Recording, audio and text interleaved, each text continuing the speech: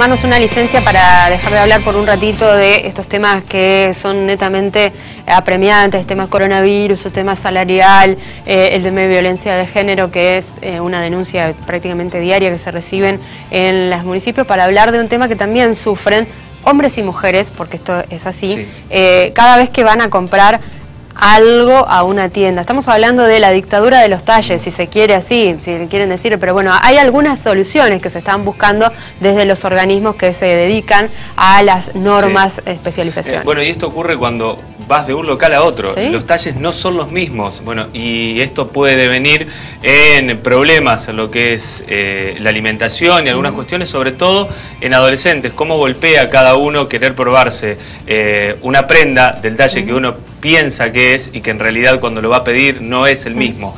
Le vamos a agradecer a quien está en contacto con nosotros, quien es la ingeniera Adriana Núñez, ella forma parte, es directora de normalización de Irán. Eh, Adriana, ¿cómo estás? Buena mañana, bienvenida arriba a Santa Fe.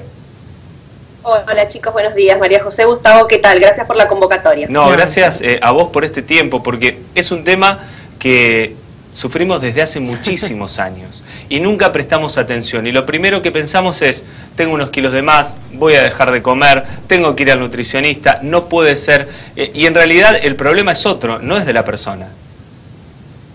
Exacto. Eh, les vamos a contar a quienes nos están viendo primero que de lo que vamos a hablar un poquito es de las normas IRAM. Uh -huh. eh, y las normas han sido generadas en el Instituto Argentino de Normalización y Certificación, que como organismo de normalización elabora y publica normas que ayudan al desarrollo económico y social del país. Uh -huh. Y cuando hablamos de una norma, no es que la hizo IRAM solamente, sino que la hizo un grupo de expertos. Uh -huh. Nosotros cuando elaboramos este documento, para que todos sepan, se sentaron cámaras de comercializadores y fabricantes de indumentaria, colegios técnicos, escuelas de confección, institutos de investigación como el INTI, la Secretaría de Comercio y los usuarios. Uh -huh. Ellos son los que pasaron el contenido de la norma.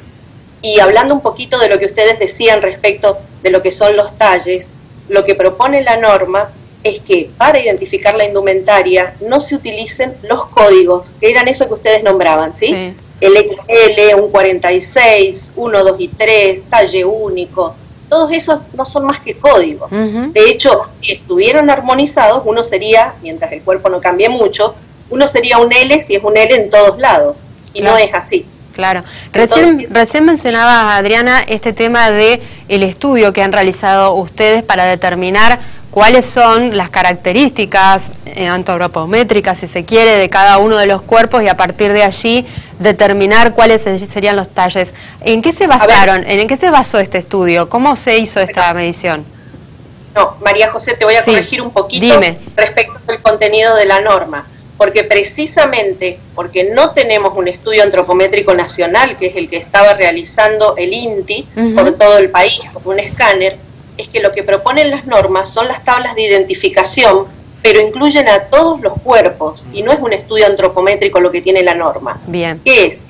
Son tablas de medidas corporales para que quien fabrica la ropa, que sabe qué cuerpo quiere vestir, porque cuando hace su indumentaria lo hace sobre una moldería, ¿no es uh -huh. cierto?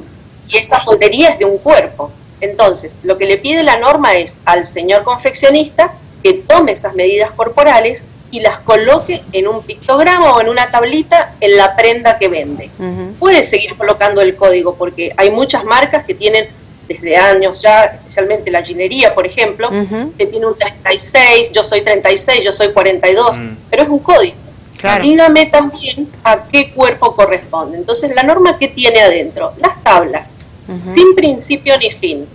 En cierta medida se abarcan todos los cuerpos, pero no definen una conformación definida del cuerpo, una, digamos, un estudio antropométrico, porque no lo conocemos todavía. Uh -huh. Es más, la norma te dice, señor confeccionista, señor industrial o comercializador, si usted eligió una asociación de medidas corporales, esa que usted eligió colóquela en el pictograma. Así tenemos claro. un lenguaje común para poder identificar la indumentaria. ¿sí? Eso es lo que pasa, Adriana, no hay, eh, a ver, cada, un, cada confeccionista puede elegir una de estas tablas y, y, ahí se radica la diferencia que nosotros encontramos en la indumentaria.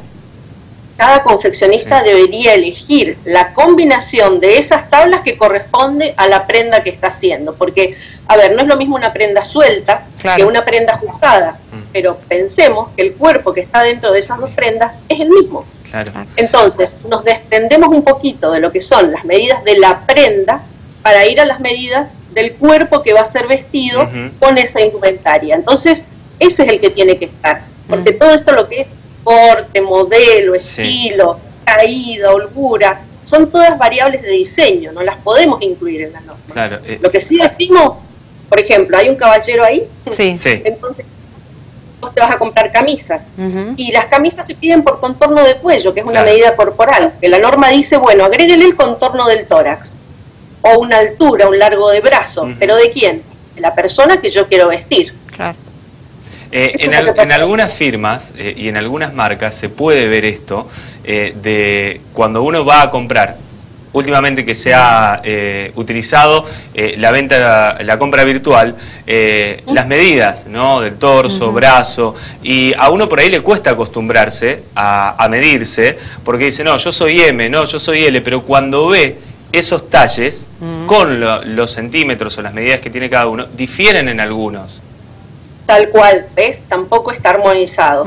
Entonces, porque cada uno toma las medidas, que yo creo a lo mejor las medidas de una prenda o de una partida que siempre hizo, esto para ropa en serie, ¿no? No es para la ropa de un sastre.